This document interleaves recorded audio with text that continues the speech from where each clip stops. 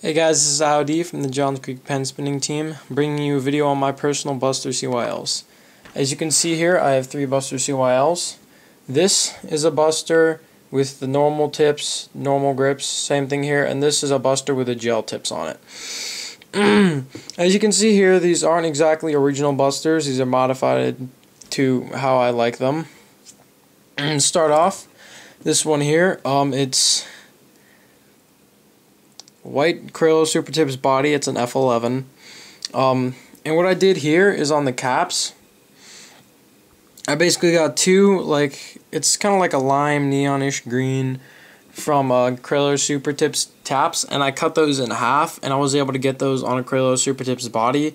So it's got a more straight body, similar to a VGG mod. Um, I got the airfit tip here. I put that on attached to the grip and I pulled the grip down a bit lower on the tip than one would normally do. So I could put this grip up here and that's a profile grip right there I believe. Profile maybe any ball as you can see.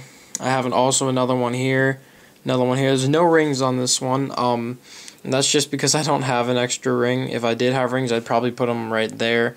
Maybe even two sets of rings one there one there. Um but this one, the spins, it's it feels a bit lighter than a normal Buster CYL.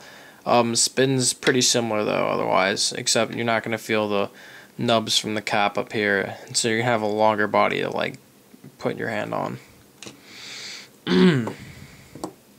Next, I have this one. This is a Buster CYL with um, gel tips. Um, as you can see here, I have a black Crayola Super Tips body. I haven't done a very good job scratching it off, so you can kind of still see.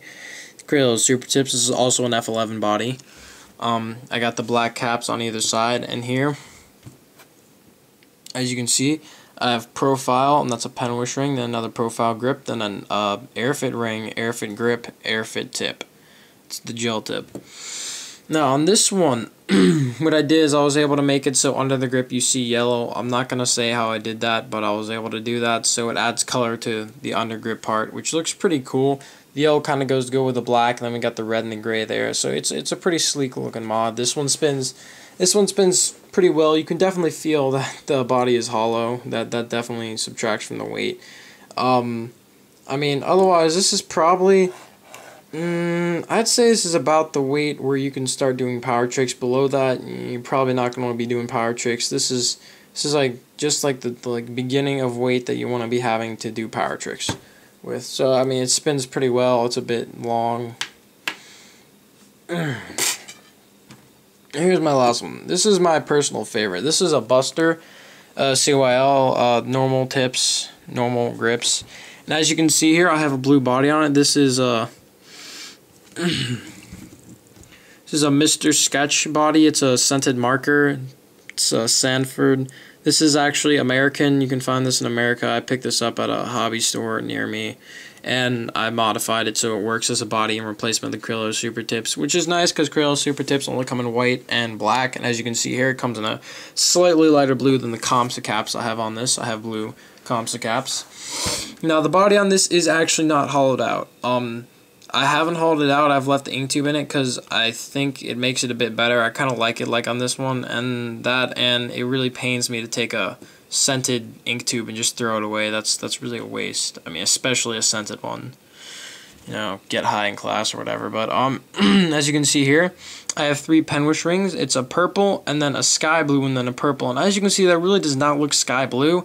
And what I've noticed is that um the pen strings will change color if you just like I guess after use you know wear tear whatever.